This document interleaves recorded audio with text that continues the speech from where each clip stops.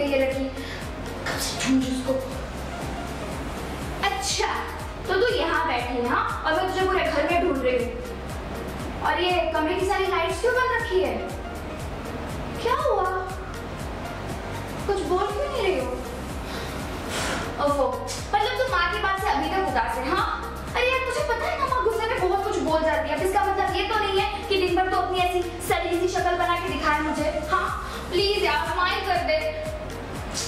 यार बुद्धन तू भी ना। तुझे पता है ना माँ का काम है बोलना और हमारा काम क्या है? एक कान से सुनना, और दूसरे से निकाल देना। है ना? Please Babu smile please please please please smile कर दे स्माइल तो ऐसी कर रही जैसे को बंदूक रख दूँ, जैसे मैंने। हाँ? और सुन, एक केक का ऑर्डर ही तो गया तेरा। कौन सी तेरी दुनिया उजड़ गई हाँ? और तेरी छोटी बहन है अभी ओके ऐसे सौ जुगाड़ कर दूँगी मैं तेरे लिए।